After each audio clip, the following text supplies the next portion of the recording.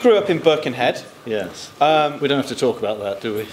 no, well, some, some people had to grow up there. Yes. Um, did you always want to be a writer? And what was it like to have writing aspirations coming from No. Birkenhead?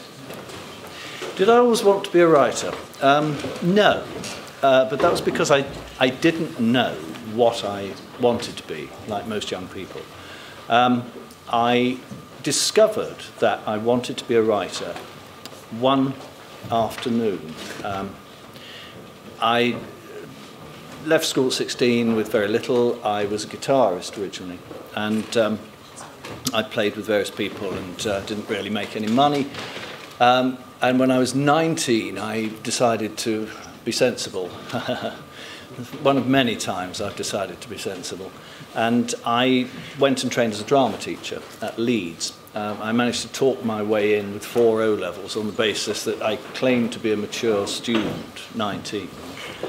Um, but they were liberal and they let me in. And on the last day, the very, very last day I was there, we had a visit from the playwright, now rather forgotten, um, Trevor Griffiths. And having spent three years studying drama, I suddenly realised I'd never actually encountered a playwright. I'd read a lot of plays, um, never, never seen a playwright in the flesh. Trevor Griffiths, I hope, would forgive me for saying he's, he's a very unprepossessing figure. But the moment he started to talk, I just knew that's, that's what I wanted to be. I, I want to be like you. That was that moment. So I was very, very lucky. At uh, um, 22, as I was then, I was very, very lucky because I knew from that moment on what I wanted to do in life. I didn't quite know what form it was going to take. I thought I was going to have to write plays for the theatre, which I did for a, a little while, um, before the evil tentacles of television reached out. So, on the subject of evil tentacles of television, what would you what do you consider your first big break? Um, well, this was one of them. Um, it's often said if you look on Doctor Who websites, um, though, about me that uh, I, I hadn't done anything at all before Silver Nemesis. That's, that's not true. Um, I had, I'd written three plays for the theatre, um, and I had done three or four episodes of different, different drama series.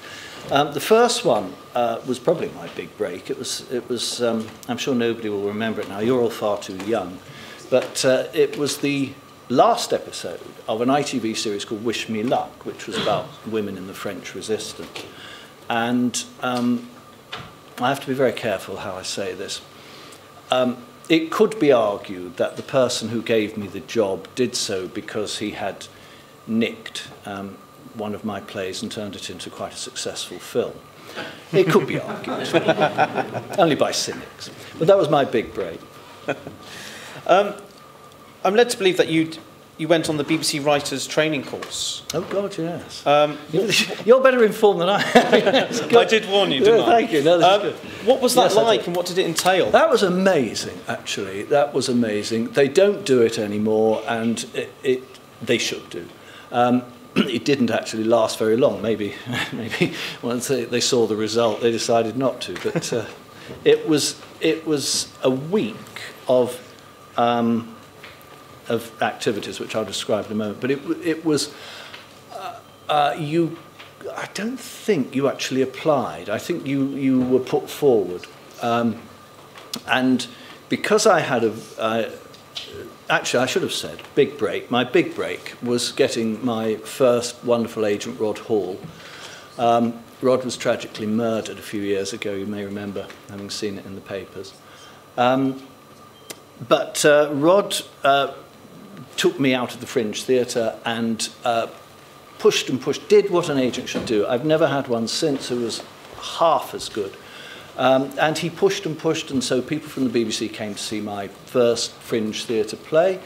Um, and they um, liked it enough, and two of them put me forward for, the, uh, uh, for this course, which happened to be coming up. See, a bit of luck. It was the first time BBC had done it.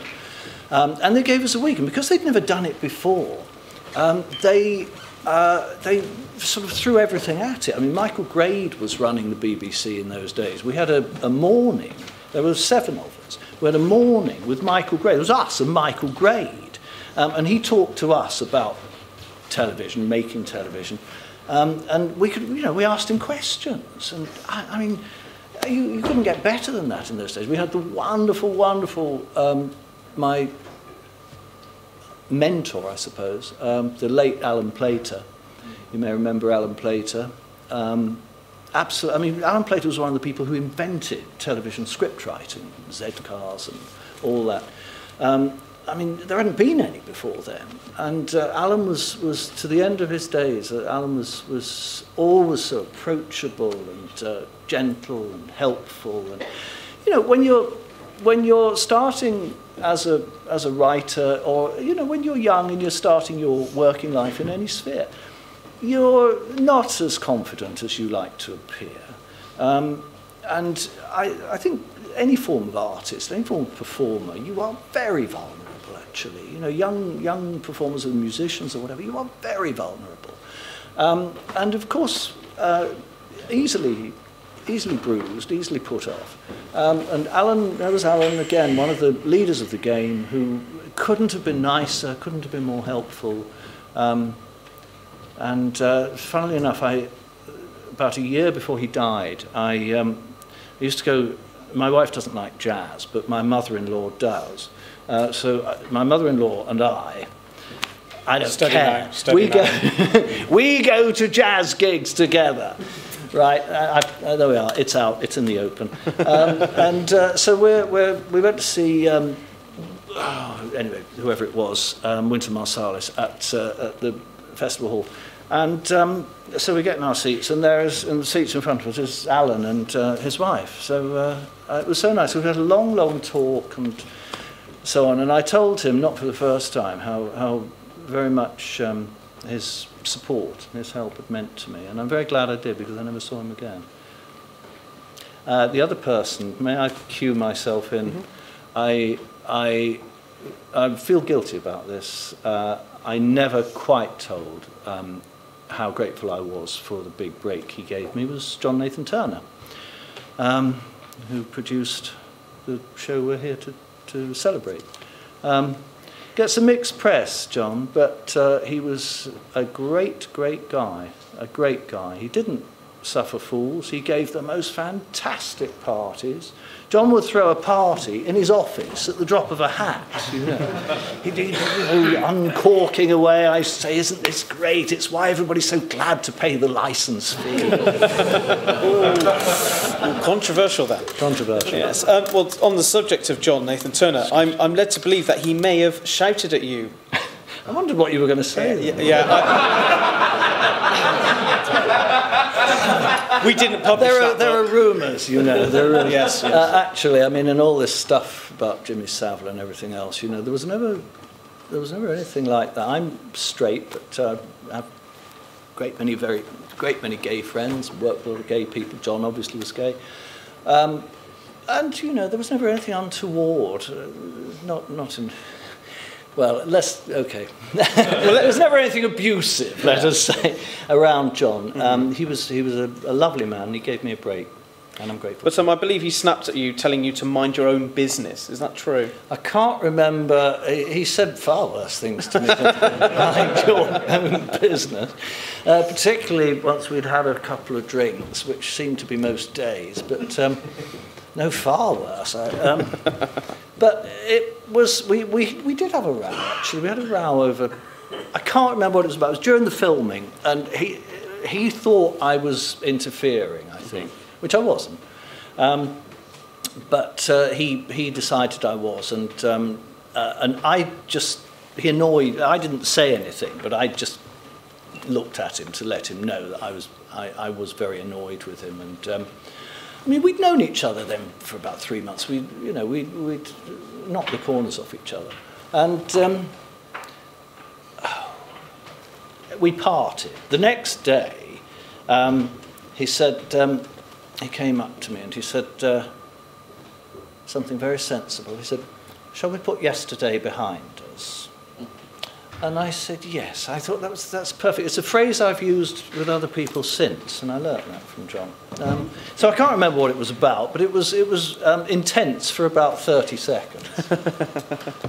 Um, you got to visit the location filming. Um, Yeah. Is it us- usual for a writer to go to the location filming? and also, Yes. did you get paid extra for your cameos? No, I didn't. um, excuse me, my excuse is I get a bit dry in the throat. Um, I, I got to visit. I was there. I was there every day except one, actually. Um, and um, don't let me forget to tell you about the day I wasn't there. But um, I, yeah, I was, I was there every day. Um, the reason I was there was because I was still fairly inexperienced and I wanted to learn. I was trying to learn the, the trade, you know. And it's one thing sitting there um, in front of your new computer, um, typing away and trying to envisage, envisage what um, your script being real. But quite another thing when you're there with, you know, there's lights and cables everywhere, and then an aeroplane goes over, and you know, uh, things go wrong, and Sylvester doesn't know his lines. and um, I didn't say that. Uh, cut that. um, well, he didn't actually. Um, so neither did Sophie. And um, It's all coming out now. not all of it. But um, where was I? Uh, yeah, location, location filming. And so I was there because I wanted to, to learn what went on and how it went on. And uh, What about the day you weren't there then? thank you, yes. Uh, this brings us to Anton Um, can I talk a little about Anton please Diffring? yes. Um, Anton, of course, no longer with us now for many, many years. Um, Chris Clough said to me in the office when they were doing the casting um, about the, uh, the De Flores part, um, should we try and get Anton Diffring? And I mean, Anton had played every Nazi since the war. Um, he'd been in, you know, virtually every war film ever made. He was always the one with the best costume, you know. But he had that, he had that incredible um, authority, and uh, particularly, uh, he never lost it. But you know, as a younger man, I mean, he was, he was very good looking, and he had those piercing blue eyes. Um, and he he was uh, he, you know, he'd been an actor all his life. Um, I started um, discovering films in the cinema and so on when I was 10. And I, I was able to, when we moved to Birkenhead, and I was able to start going to see films on my own on Saturday afternoons. I always tried to go to war films because they were the most exciting. Anton was in virtually all of them. Um, so this was great, 1988, um, all these years later. So he's, he's going to be in Silver Nemesis. Um, and uh, he, I told him this one evening. I mean, Anton was, he was difficult. Um, he was always complaining. Uh, he was, it was, um, uh, every time I think about that, that uh, summer, I, I hear Anton's voice, going, give him, give him, my part, my part, you know. I won't tell you what I sometimes said, but it, it, I realised he was referring to the script. So um, we, we, uh, we got over. And his part was never, um, forgive me, this is getting terribly worse, it was never big enough for, uh, uh, to, for Anton. Um, and there was always things wrong, and there were things, his costume was always problematic, and you know, all he did was complain. And I just decided um, that I, I didn't quite take him seriously. So um, I never really responded to any of this. He was sitting me down saying, no, look, you can't, you've got to give me, you've got to expand this scene because he doesn't explain what he means. You know, he's just trying to get more screen time. Um, and JNT would never have worn it anyway. And, you know, JNT said, oh, just tell him to shut up. Well, I didn't quite like anyway. So, um, so we, we sort of got along like this for several days, and um, Anton was a bit of a pain. So we're staying in um, this hotel on the seafront in Worthing, and um, every night there was a bit of a drink up in the bar, you know, the crew and everything. Um, one evening, the one evening um, before the day I went away, Anton um, appeared in the bar. And, uh, you know, normally, you know, when you join a circle like that, it's, well, who wants a drink? Or, Anton just sort of stood there waiting to be. And uh, so I said, all right, Anton, come on, sit down. So I said, what are you having? So I went and got him a drink. Oh, thank you, I will have a marker. So I sat down. I said, right, now, now you're, um, I've bought you a drink. You're going to have to talk to me. I mean, our previous conversation, several days before, had, been, had ended with him saying, always you are smiling. but you are terrible. I said, yes, I. Yes. so, uh, right. so you know now it's um, what, what are you having, Anton? So, so there we are. So it's half of half of hour. So I said, right now you, you've got to talk to.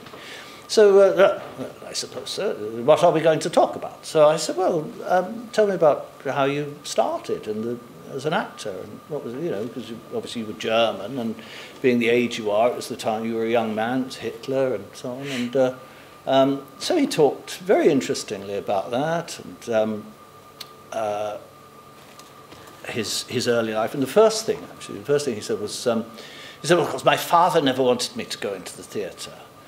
Um, and I, I said, well, nobody's father wants them to go into the theatre, do they? I said, Christ, my father thought I'd gone mad when, um, uh, when I said I was going into the theatre.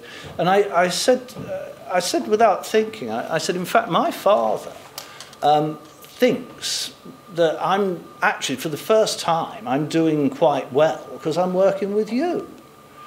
And he said, no. And, you know, in that instant, all that, all the the arrogance, all the front he put on for all those days just melted away, and, and the, the, you saw the, the vulnerable actor behind. And, uh, and I, I said, I'd, you know, it had come from the unconscious, but it was true. And I, I said, yes, it is true. And I, so I, I said, look, when I, when I was 10, I went to see all these war films. You were in them all. I said, and uh, every time you came on the screen, you frightened me. I said, you bloody well frightened me now. so there we were. And, and so we became closer to each other. Now I have to tell you what happened next, um, which was that I, I, said, I said at the end of it, I said, right, I, I never got on with my father, but I, I wanted to uh, commemorate this moment with Anton. And I thought, um, I'll show the bugger, I'll send him a photograph of me with Anton, signed by Anton, you know. So I said, look, Anton, um, you know, we were talking earlier about this, so would you do this? And would you have a photo taken with me? Yes, all right, I, I suppose that would be all right. So um, uh, I said, well, look, I've got to go back to London tomorrow, but I'm back on Thursday. So uh, I knew he'd got two more days, Thursday and Friday. So I, I said, well, have it done Thursday and Friday. I'll get, them, I'll get them to do it. That's all right. So that was that. I go back to London. I come back um, Thursday morning to find Anton had gone. Uh, he'd, they'd changed the schedule and they'd shot all his scenes and he'd gone. Um, and I, I obviously knew I wouldn't see him again. Um, and I felt very sad because we had, we had connected in that, in that little way. Now, several years later, I can't remember how many, maybe seven, um, yeah, I just have to ask you to believe this. I've got no proof of it. Um, this is what happened. About seven years, eight years later, uh, I woke up early one morning. It was about quarter to five in the morning. And um, in those days, I think Radio 3, which I listened to in the morning, started at 5, and they start with the news. Now it's 24 hours. Um, and so I turned on Radio 3, and there was the news at 5 o'clock in the morning. And the last item was the death has been announced of the actor Anton Diffring. He was uh, 78 years old and he appeared in so on and so on. And I thought, 78? Yes, well, you managed to get away with that, didn't you? um, so uh, obviously I, I was very sad about this. Um, and no more was said. So I went over to Radio 4, where they have longer news, exactly the same uh, news as they'd done on Radio 3, a little bit expanded, no mention of Anton. So um, again, I waited for seven o'clock. Obviously, they put it on then. Same news, no mention of Anton. Eight o'clock, obviously there'll be some sort of mention then. No mention at all. Um, nothing in the press, nothing in the TV news. There was no other mention of his death in the news that I could find the whole of that day. The following morning, um, I, whatever it was, listened to the news, 7 o'clock, 8 o'clock. The last item was the death has been announced of the actor Anton Diffring. And it was the same piece that I had heard the morning before that had not been repeated anywhere else. That's what happened. Don't tell me Doctor Who isn't a weird show. Thank you for sharing those. That's some really nice, nice memories you've shared with us. Thank you. Um, was it JNT's idea to have the Cybermen? And did you come to the story with a sort of shopping list of things that you had to have in it?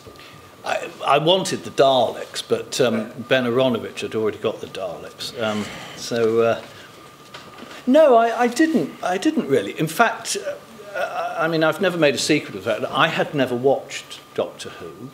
Uh, when I was a child, my father wouldn't let me watch it on the grounds that uh, it would frighten me. I said to him later, "Look where that got you."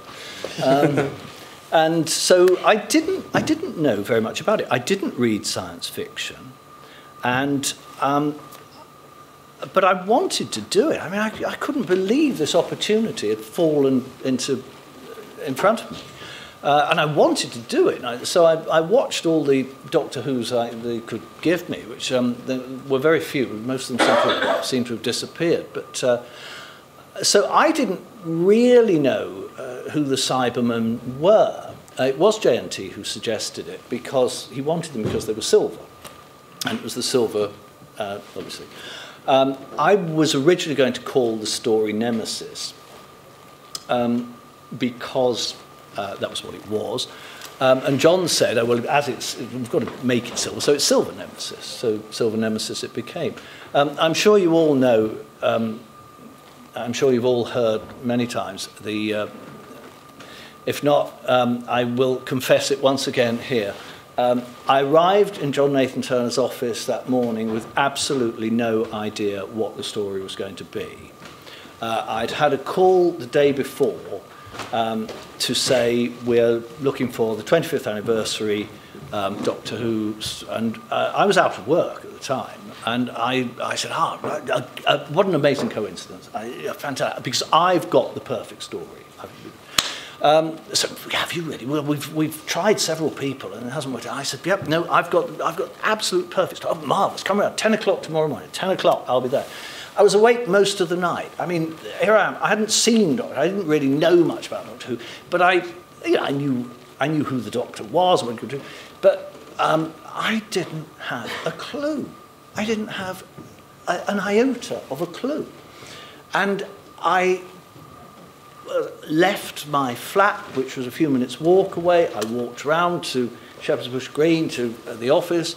Um, I go up in the lift. Going up in the lift, I was really beginning to panic. I hadn't got a clue. I thought you're going to make you know the biggest fool of yourself you've ever made. And uh, JNT uh, and the script editor were there, and uh, we all sat down. And so uh, John said, um, right, so I, I gather you've, uh, you've got a very good idea for us. I said, yes, yes, I have. Um, and he said, well, what, what is it? So I said, Doctor Who. Uh, he said, yes. I said, the question I think we've all been asking ourselves for 25 years is, who is the Doctor? And then fortunately, I began to be able to see it. I, so, who is the doctor? Um, and then this idea of the nemesis immediately came because something had to happen. The doctor had to come face to face with the person or the creature who knew his biggest secret. And his biggest secret is his identity. Who is he? So JNT said, Who is he? And I said, as I've admitted many times. I said the first thing that came to mind, which was God. And he said, Christ. I said, no, God. um, so I, he, said, he said, oh, well, uh, and the more, the, this idea began to grow on me, you know, and I, I began to, I said, yes, he's God. I, I began to base him on myself. I, I have a very bad memory. Um, so I said, yes. So what happened is, you see, he's, 25 years ago, he forgot to do something, and now it's going to destroy the world. You know, God is imperfect. I don't believe in God, but God is imperfect. God, um, He comes among us, and He gets it wrong. He's not a perfect God. He's like one of the Greek gods. You know, He messes it up. No. He said, You can do it, but you mustn't say it. So before we finish, so 25 years ago, you had the idea of asking the question, Doctor Who? Who is he? Hmm. Does that sound familiar, guys?